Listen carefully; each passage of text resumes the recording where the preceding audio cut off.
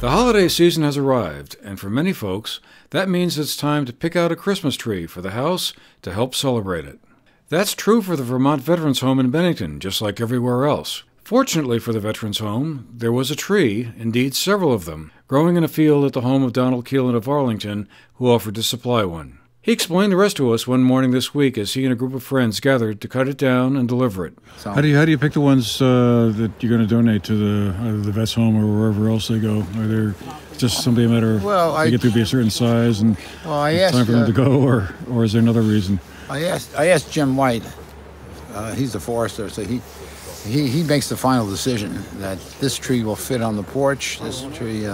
Uh, uh, because, uh, like I said, the porch is quite wide, and this is a wide tree. Some people say it's a fat tree, but we like to think of it as a full tree. So, uh, and, and it fits. It fits very nice, and the height of it is, is very important. I think with that open window, sort of. Well, the porch is open. Yeah. And um, but it has a um, some rafters that we can uh, actually cut right through. But uh, it's a uh, Keelan's history with the Christmas trees goes back a ways. In 2007, he spearheaded the effort to bring a tree from Vermont down to Washington, D.C., where it served as the official Christmas tree for the U.S. Capitol. He's also donated Christmas trees to the Veterans Home for the past 11 years.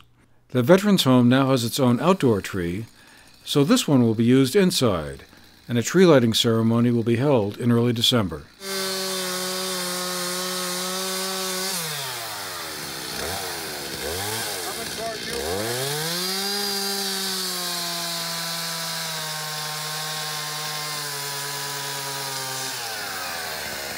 Guys, I'll trim it all up. Hold it right there, Fred, I guess. You got, oh, you got a root coming out right there. That's, Well, I mean, you know, Don always fixes. You got to fight your way in to make the cut, you oh, know? I mean, that, that one took root right there. we're gonna cut that there, Marty. Watch out down here.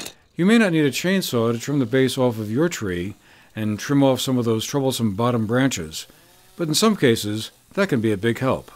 The tree will brighten the Veterans Home for the holiday season, and from the looks of things, there are a few more where that one came from.